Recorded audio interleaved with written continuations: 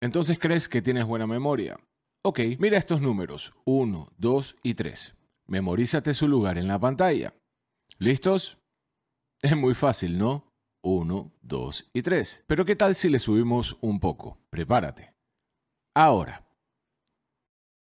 Si sientes que es imposible, no te preocupes, es normal para un humano.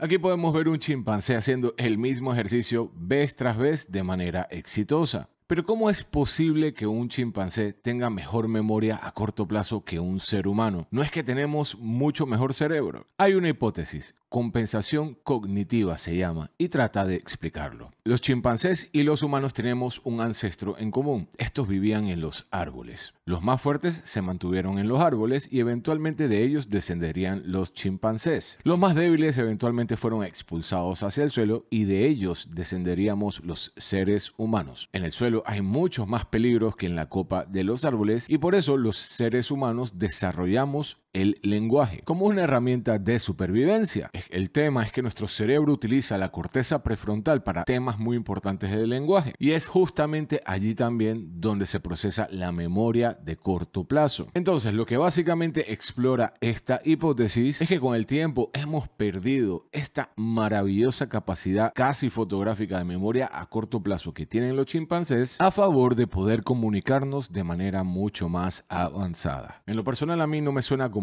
un maltrato. El lenguaje nos ha permitido dejar de vivir en el momento, comunicar ideas y colaborar. Y bueno, déjame saber como siempre qué piensas tú y no olvides en seguirme para más cosas interesantes.